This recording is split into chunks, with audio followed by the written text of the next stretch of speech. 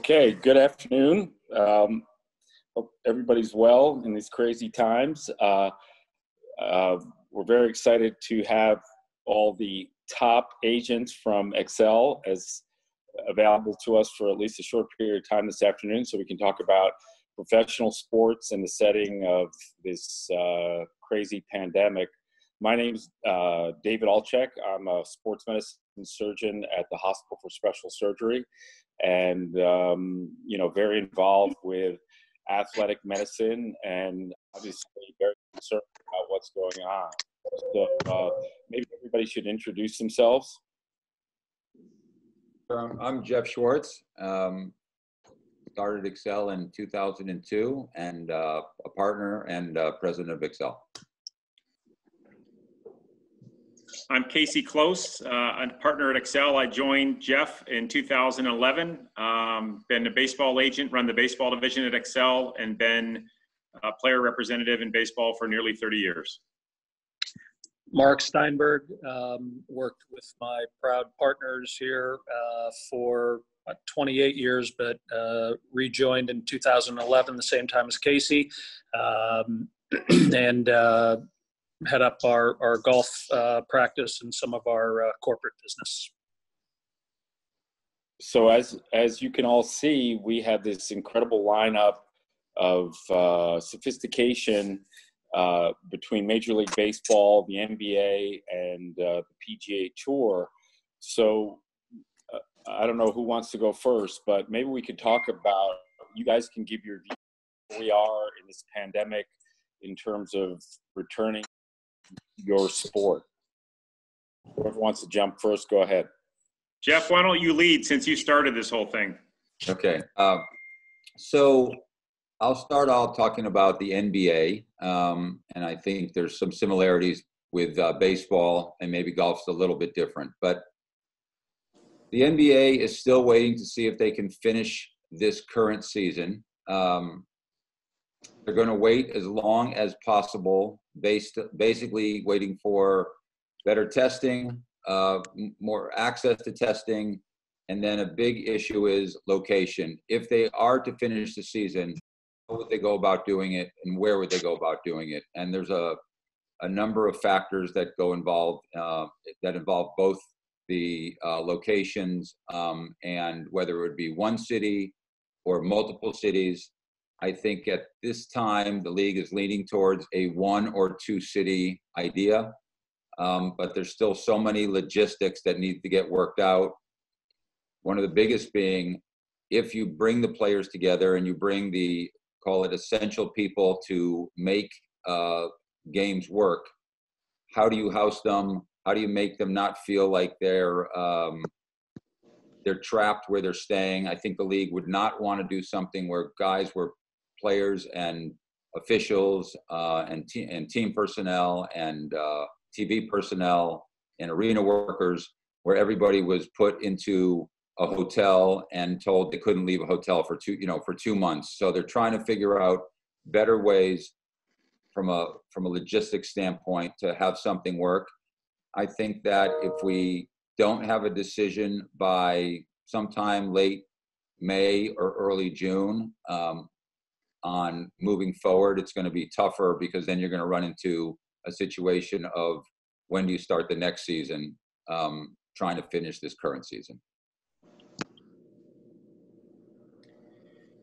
Uh, I will just jump in on the baseball side. So, similar to Jeff, our sport is um, trying to work through a number of these issues. Uh, Major League Baseball was just in the middle of their spring training when this uh, announcement was made and everything broke away. So, the players have disbanded their camps. They've all gone back home.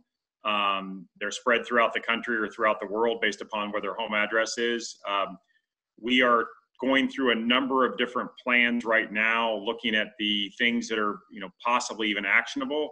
Uh, testing remains at the forefront, similar to all the different sports. The ability to test, to know what they can do if, in fact, one of the athletes were to become positive if they start back up. Uh, given that our season did not start, um, and baseball is more or less considered a marathon and not a sprint, the real decision here comes to about how many games are we going to be able to play and when will we be able to start. Um, given that baseball is 162 games, I think most players and even uh, ownership feel that you know they'd like to try to get in at least half the season to make it a legitimate season. So that would be 81 games. Um, they're trying to work through when the logistics of that would have to start, and naturally when um, when that would have to end at some point because baseball most likely would be an outdoor sport for most of the summer. Uh, fans, it looks like, uh, are not going to be part of this process until later in the summer, early fall, if at all. So those logistics are trying to be worked out, as are the logistics with regard to um, the players and where they would start the games. Uh, there's been some talk about maybe starting them in spring training, both in Arizona and Florida. Um, there's also been talk that the players would just start at their home parks with no fans, where the, the New York teams or the Boston teams or the Los Angeles teams would just open the season in their home parks and they would play different sorts of uh, games and sets. So I think the thing about baseball this year, which you certainly would never expect, is it will be altered uh, and it'll be different than what we've seen before. There'll be a different version of it, hopefully, if we can get these games together.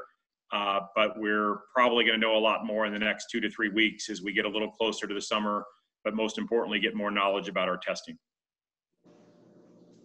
Doc, you can probably appreciate, you know, the Jeff and Casey and I have daily calls um, multiple times a day, and a, a, lot of it is just check in, but also best practices. And uh, you know, golf looks like they might be one of the we might be one of the first sports back. Um, we are intending to come back uh, the week of June 8 in Fort Worth, Texas, at the Charles Schwab Colonial, uh, and um, you know, in, in in talking with the, the, the management of the tour, uh, they have a lot in place to uh, to uh, they have a lot in place currently to get this started the week of June 8th. They still have a lot to do. Um, whether it's um, you know making sure testing protocols are in place, making sure that they're not taking tests away from the general public. Um, how do you take the traveling caravan from week to week? Uh, so all of that is being worked out right now, but the intention right now is to uh, to come back the week of uh, the week of June 8th. There's going to be two charity matches, uh, you know, leading up to that. Uh, next Sunday is a, Rory McIlroy uh, inspired uh, event that will take place at Seminole, and then we at Excel are putting on a, uh, a major. That's my dog, Charlie. um, we are putting on a a major charity event uh, with Tiger Woods, uh, Mickelson, Tom Brady, and Peyton Manning, um, and uh, all of it going to COVID relief. So um, golf seems to be at the forefront. David, I'll, I'll, just jump in for one second on basketball and baseball. A big issue for us um, is going to be fans fans back in arenas, um, and league this the NBA, I can speak for the NBA. Yes, we can do it this year without fans if if the decision is made to try to go forward season. But in the big picture for next year, it's going to be really difficult. Um, and it, for the the economic model doesn't work unless you can get fans back in arenas, and that's going to be a big question of how how to do that. Um, yeah, that was you. You pretty typical of you, Jeff. You you thought of my next question right away. That's what I was going to ask.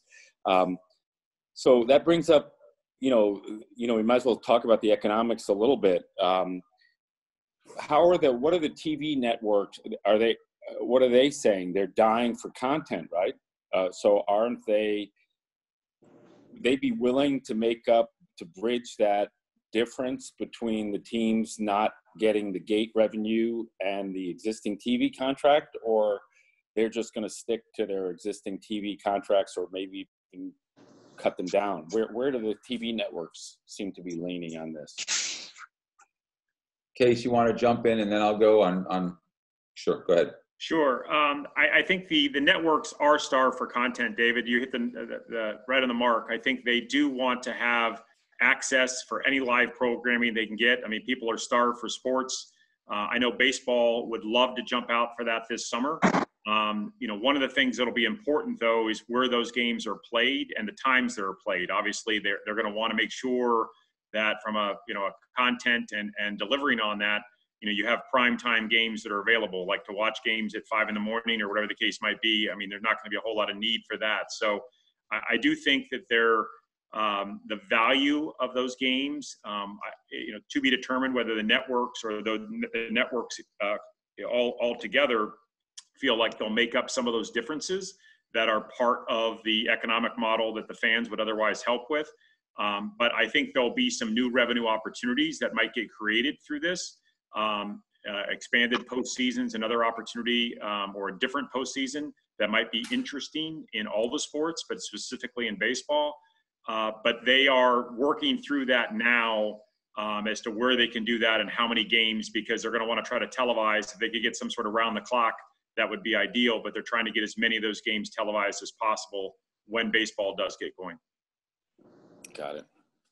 I would just add that I think everything's on the table right now um, between the leagues and the networks. Um, but the networks are also feeling some pressure also because advertisers. Um, and so whether they're going to pay um, an incremental amount of money, I think that would be, we have to wait and see on that. But I do think that they're feeling a lot of pressure too. And um, the leagues are I think looking at every which way to try to make up that difference. But in in in certain sports, that gate is a is a pretty large percentage. Um, so these are things that we'll we'll have to wait and see. But I know one way or another.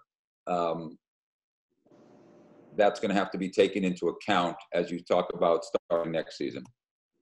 Got it. Is there anything good that could come out of this going forward that you can think of? I mean, I've, learned how to cook. I've, I've actually learned how to cook pretty well. I've been in the kitchen a lot. um, and that aside, which is the most important thing, secondarily related to the sport that you're involved in. I mean, you know, how like the world now, like we're doing this Zoom thing, you know, the world is changing as a result of this. The question is, will it change pro sports forever to some degree and could any of those changes be actually good in, for the players and the for the players let's just say yeah i don't uh, david I, I i think we as a society always live as a, a prisoner of the moment um, i do uh, but tried not to as much um, two of these guys on this call try to make sure I don't do that as much. But uh, I I I, uh, I think it's incumbent upon us as leaders, and I, I we put you in that same category. You're you're a distinct leader in what you do. Uh, to figure out what that what the good is that comes out of this. How do we um, how do we uh, make sure that we're better coming out of this than anybody else? And um, I don't think anybody has the answer to that right now. Uh, but I do know that we think about it every day. I know I talk to my athletes uh, about it every day, along with my partners here. I know you talk to your doctors about it, and um, and and we will, and and that's why we'll continue to be Excel Sports, and you'll continue to be hospital for special surgery um, because we will uh, challenge the people on this call and we'll challenge the people that work for us to determine the, the what it looks like on the back end and we don't know if we're on the front or the middle or, or entering the back end but um, we, we are we are figuring that out from a from a golf perspective um, you know, we are able to practice social distancing a little different than a lot of the other sports. And so um, I'm hopeful that that gives, you know, Adam Silver or Rob Manfred or Michelle Roberts or Tony Clark or whoever, whomever it may be, um, some learnings and um, and we'll see what happens. Hopefully, starting you know in the coming weeks.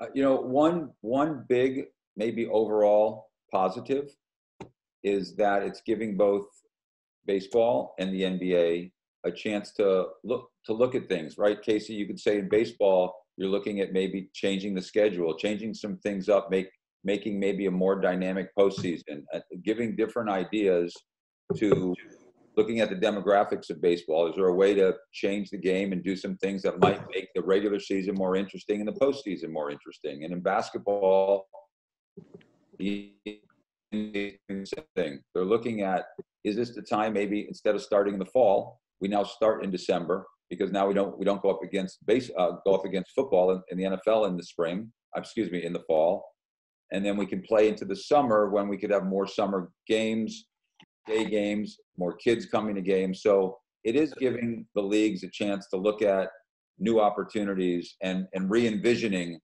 how schedules go. I think I think that's right, Jeff. I think that all the sports will probably, it might be too soon, as Mark said, to, to basically say what will come out of this. But I think there will be some good, um, whether sports are too long or they're too short or they're too boring or there's too much of this or too many or too few playoff teams.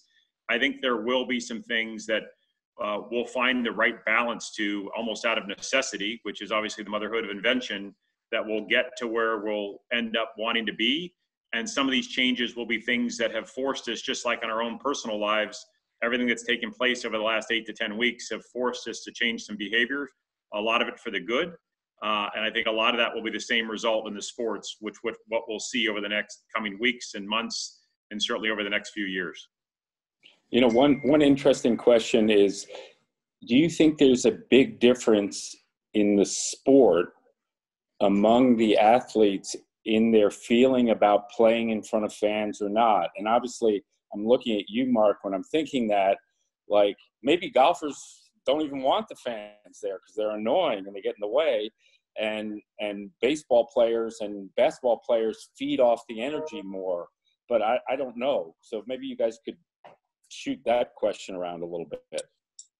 You know, David, let me, let, you know, I'll, I'll turn to you, Case, but, um, you know, golf's had a, a, little bit of an experience. Funny, um, last year, very few people, if any, uh, will ever recall this. You will because you're an avid uh, golf fan. But you know, Tiger won uh, in Japan last October at the Zozo Championship, and the Saturday round, because of a massive storm that came in, had no fans, and um, the players were kind of like, "Yeah, this is kind of nice. I think it was nice for one day, but they also feed off the energy. So I, I think they're trying to understand. I hate using the term new normal because everybody's using it, but whatever we come out of this on, they're just going to adjust to it because they have to. And golf has already decided we're going to come out for the first four weeks, starting the week of June 8, no fans whatsoever, and then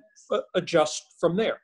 Um, so I think the interesting one is going to be October, assuming golf continues. October or September, Ryder Cup in the States, in Wisconsin, heart of the Midwest, passionate fans.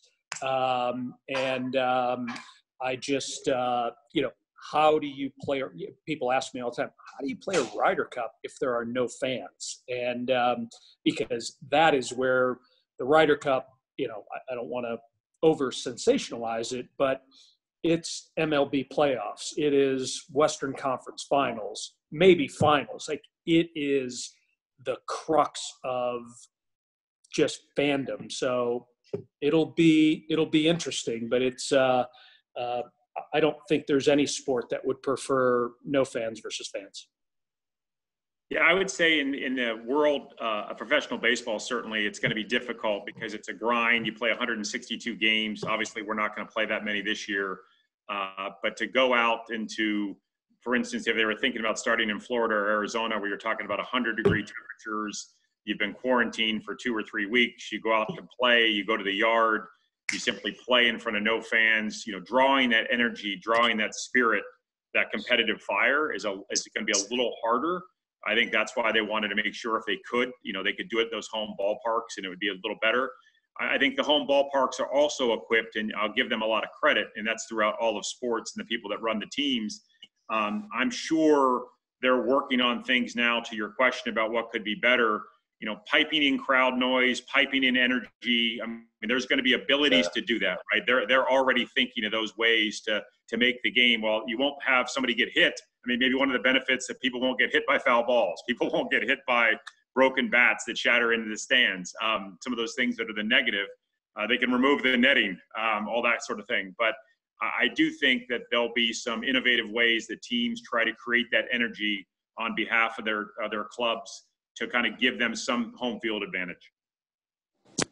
I think that the NBA players probably have to have the biggest mind shift with that because they're the ones so connected to the fans. Like you're sitting courtside, you're they're they're right there on top of them, um, and I think they've they've been going through that because when I, we've talked to our players, at first it was like it doesn't make sense to play without fans, and now it's okay. Understand it. It's gonna be really weird to play without fans, and I think Casey's right. The ideas of piping in, piping in, piping in some type of emotion into the arenas is going to be something that I think they're going to experiment with, um, and that maybe it helps the games. You know, who knows where these games could even be played this summer or when the season starts. It doesn't have to be in a big arena. It could be in some small, you know, some small uh, arena, whether it's a college arena or a high school arena, different camera angles. Maybe they're really on top of the players, the cameras, and they pipe in noise. We just don't know. But I think it was a really big mind shift for the uh, for the NBA players to think think through playing without fans. Hey, hey, David, I'll give you your first big idea of the day. Right here it is. You can own a virtual seat license. Therefore, you can actually sit center court and have an avatar of yourself at a game every day. They, they sell you the virtual seat license. You can control all that inventory throughout the NBA and throughout Major League Baseball. Love that case. That's the kind of stuff I was looking for. Great. That's good. Um, you know, last last topic that I have you know, obviously because it relates to my businesses and, you know, it lurks in the background, inadequate preparation, in, in irregular preparation and increased injury. Uh, you know, obviously I'm not portending that that's going to happen. Um, but if it does happen, what what do you think the effect will be? Everybody will just roll with it, or there'll be like a huge backlash? Uh, you know what? Let me back that up a little bit because I think what you're asking, there, there's there's one more step to it. If the leagues decide they're going to go back and play this summer, I mean, baseball hopefully will play. Let's say the NBA decides to finish. You might have players that are just going to be worried about forget the injury part, just worried about getting back on the floor and, and playing and being worried about the safety of, of just that. So once, I mean, that I think that's going to be an issue unto itself um, some players saying don't want don't want to do this, um, and I think that the leagues they're going to have to think about that how to how to handle that stuff and without being too draconian. Um, but what a, what a lot of guys have talked about is if we don't have enough time to practice, players are going to get hurt. They're going to get back on the floor and they're going to get hurt. So they are thinking about that, and I think that the union's going to have to do a good job of making sure that there literally is enough time to practice, whether it's individually at first and then as a team at first, and then maybe there's some exhibition games where the players are getting, because you can't go from zero to 100. No matter how much you practice, there's no speed. Like when you go play an NBA game versus playing a practice game, it's not the same thing. Um, and there is a lot of concern on that. And so the agents and the union are, t- are talking about that. I, we don't have an answer yet how long the players are going to need for preparation, but it is something we're all thinking about. Great. Anybody else want to weigh in on that? I'll just take a brief stab at it as well. So I think in the Major League Baseball, the, the two the two ends of the spectrum are the the player who has done well for himself, has already gone through free agency a couple times, has made an extraordinary amount of money. And that player is looking at this summer and saying, well, do I really even want to go through all this kind of stuff? I'm going to make a ton of sacrifices, the possibility of spending not only weeks, but possibly months away from their family to play half a season. Um, what do I really get out of this kind of stuff? Um, it, it, so that's one end of the spectrum. The other end is the player who may be a potential free agent and is going to go out and be asked to rush through a season and put his best performance where halfway through the season maybe he suffers an injury that's related to not being as prepared as he would have been so Exactly. that's a big deal and that's a big Yeah. problem and and does that where does that guy now fit this is his one chance for free agency over the course of his entire career and now you know maybe hundreds of millions of dollars are at stake on either side of that so yes i think we're, there's going to be a lot to do with preparation i think major league baseball and the players association is carefully considering expanded rosters uh, making sure players do have downtime not trying to play 100 games in 100 days if that's what it ends up being uh, they're carefully considering all that but you have players on both ends of that spectrum depending on where they are in their careers You know, Right. David, it's it's interesting. Um, it- go- I know golfers; uh, they are athletes, um, and uh, so. But but I, you know, uh, the commissioner, uh, you know, issued a, a fairly early statement about uh, when we intend to come back to golf, as we talked about earlier, and um, part of that was to be able to get the, the guys going and practicing at facilities that are open. Uh, and the other, you know, which is a, a little less um, of a of a, an alarming factor for what Casey and Jeff are going through is our sport is truly global. Not, that baseball and basketball aren't, but on the PGA Tour, there are players all over the world that um, live all over the world, and so got to figure out how to get, we represent some of them, how to figure out how to get them in place. Is there a 14 day quarantine? Where are you going to get to? So there are a lot of factors, not just on getting your body right, which Casey and Jeff alluded to, but there's a lot of just logistical factors as to how do I even put myself in a position to be able to be able to compete. You know, we're an independent contractor sport, so a player can say, I'm not comfortable with that and I'm not going to play. And it doesn't affect the Lakers or the Marlins or whoever it may be. Um, it just affects themselves. So we don't have that team aspect to it all. Um, we have a bit more of a logistical aspect um, of getting, you know, people from place to place. Thank you. That was good. So I guess I, I, I lied. I do have one more question. Sorry. Um, and it's good that we don't have an NFL agent here. I mean, and the NFL, as far as I saw, announced like business as usual. I mean, what do you guys think? Do you think that's realistic? Do you think that's just blowing smoke? What's your opinion on that? I think they were in a position early on when this when this whole um, pandemic broke that it was going to be six months away from kind of their opening day, and they were at the ability to kind of skate for a little while. They had to worry about the draft, which obviously took place a couple weeks ago in the virtual draft. Um, but I think as this gets closer and they realize what they're going to have to do, and you know the, the tackling and just the the nature of the game itself, right? Players are on top of each other; they're hitting each other. Like this is it's 24 7 I, I think they're going to have to take a really close look based upon the guidelines of what they can see to say all right you, you can't you can mock a practice all you want. You can kind of do it but on sundays or saturdays in college football you actually have to hit somebody. That's what the game is all about. So i, I don't think people want to watch flag football and i think that's just going to be something that they're going to have to take a very hard look at. I think they're probably hoping for some sort of good news on the medical front some great news on the testing front uh, possibly even news on the vaccine front, right? I, I, think that they don't have to make a decision yet, but no doubt Roger Goodell and his team, as well as Steve Smith and the players, uh, there's got to be a plan B and a plan C at this point because um, it's going to fast approach when we get to September. I would say this also. You're seeing the NFL make some adjustments, some salary uh, adjustments to staff at the league office, at with, with teams. So they're they're starting to think about it.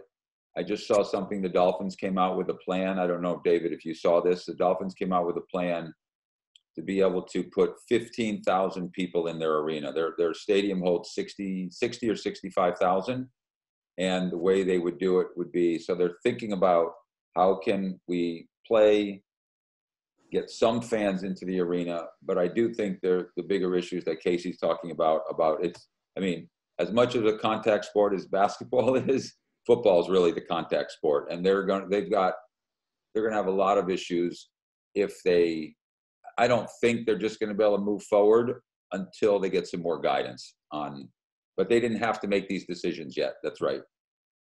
They have the benefit of time, right? Uh, and it's only based on scheduling. But you know, David, one of the things we we haven't talked about before we go is, um, you know, you're, you're unselfish here, but what you guys have done, what HSS has done, and um, how you've kind of turned the hospital into a front line to uh, to take care of of people, and um, you know it should be you know it should be noted um, because you know doctors and nurses and hospital workers. I mean, you guys have done.